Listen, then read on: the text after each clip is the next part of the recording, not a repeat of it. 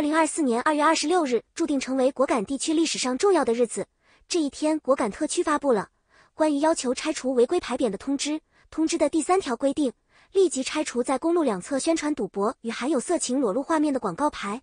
我们认为这是一个强烈的、具有指向意义的信号，表明果敢特区政府或将禁止赌博、色情两个摇钱树产业。而就在近期，果敢特区政府对果敢老街市内街道大改造。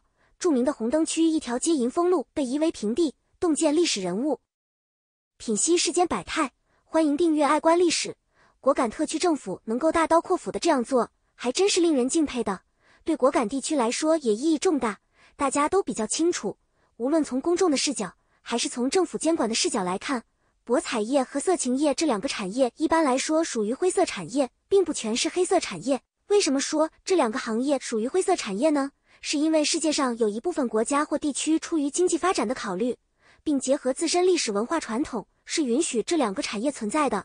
或者这么说，在有些国家或地区，这两个产业是可以正大光明的领营业执照的，算是白色产业。相比之下，电信诈骗行业和毒品行业是世界公认的反人类的、违反人性的产业。任何正义的、合法的政府都不允许诈骗和毒品两个行业的存在。都会对这两个行业进行大力度的监管。世界上所有的正义的政府对这两个行业几乎都是零容忍的。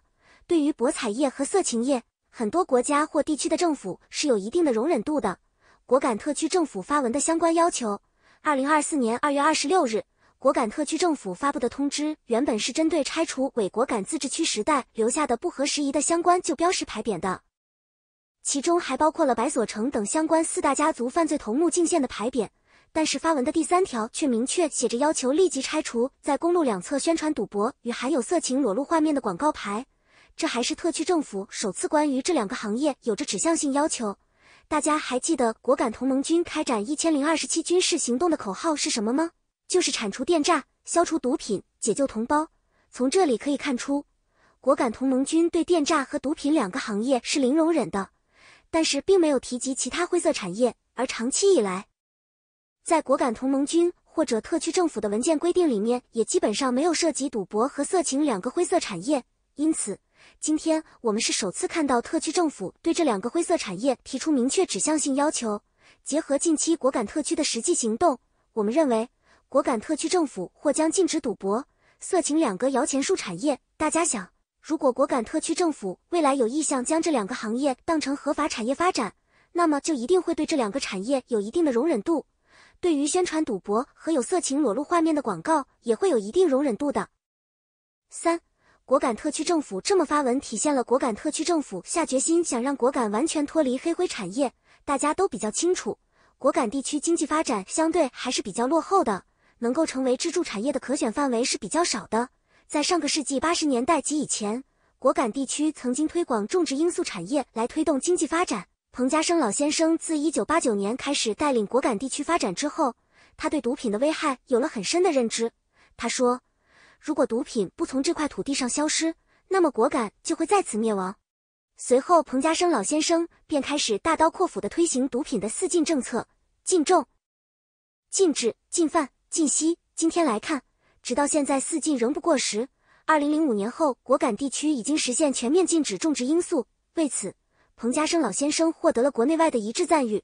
与此同时，中国也帮助果敢地区实现了对罂粟的替代种植，于是甘蔗、玉米、水稻、橡胶、水果等经济作物开始在果敢进行推广。然而，在二零零九年八八事件以后，白所成为首的四大家族开始统治果敢地区，果敢地区的黑灰产业开始死灰复燃。在四大家族的统治之下，果敢地区竟然成了犯罪的天堂。成了电信网络诈骗窝点的聚集地，成了毒品制造加工基地。除此之外，果敢四大家族统治下的果敢自治区还开放了赌博等灰色产业。当然，四大家族从这些黑灰产业当中赚得盆满钵满，同时也被利益冲昏了头脑，走向了不归之路。回头我们再看果敢地区，现在果敢同盟军已经实现了对果敢地区和历史辖区等区域的全面光复。果敢一经光复，特区政府就马不停蹄动员同盟军力量，开展大清查、大整治行动，对电诈和毒品两个行业进行全面的、彻底的清剿。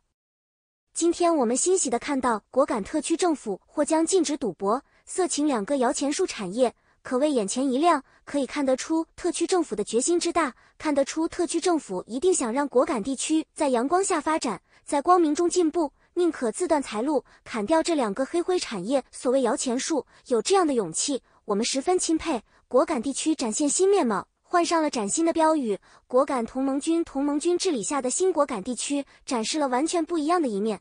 看看写的什么内容：江山就是人民，人民就是江山。全军官兵务必认真履行全心全意为人民服务的宗旨，也很有特点。为什么果敢地区的新风貌如此引人注目？不就是这些标语和行为像极了某个东方大国？这是完全摒弃了之前的治理理念，而是采取了新理念。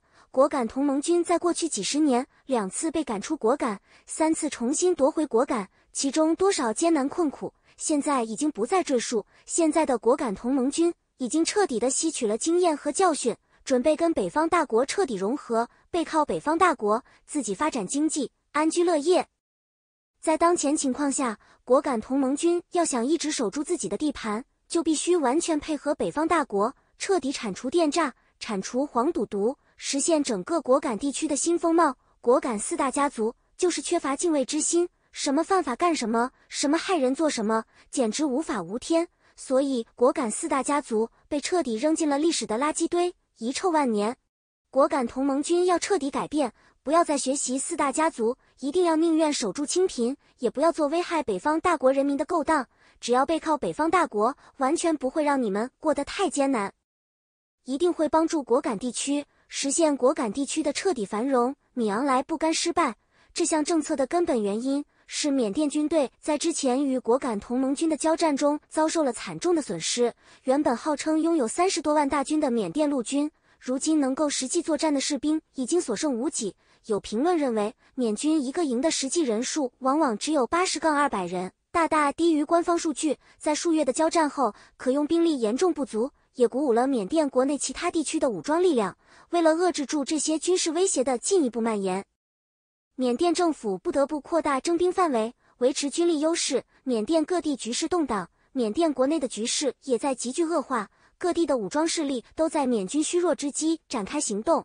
比如三兄弟同盟中的若开军，最近就完全控制了若开邦的重镇百利瓦；民盟的保卫军也占领了石阶省的卡林镇。青邦、克伦邦等地的少数民族武装也趁机起事，这些势力加起来的规模不亚于正规军。严重威胁缅甸政府的统治。凯林镇就有消息说，缅军已经调动包括一个装甲营在内的部队准备反攻，但战果如何还不得而知。面对这个局面，以维持对全国的控制，缅甸青年选择闪婚逃避兵役。这项政策一经宣布，就引起缅甸青年强烈不满。他们担心被迫参军会直接上战场送死，于是闪婚成了许多青年逃避兵役的选择。根据规定，已婚女性可以免服兵役，因此。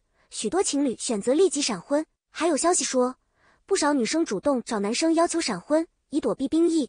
男性也纷纷出家当和尚，因为和尚也免服兵役。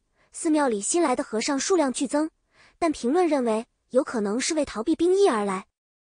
无论男女，青年人普遍对这项政策表示强烈不满，他们认为自己的人生规划被打乱，前途难料。这也导致缅甸社会出现一股强烈的抵触情绪。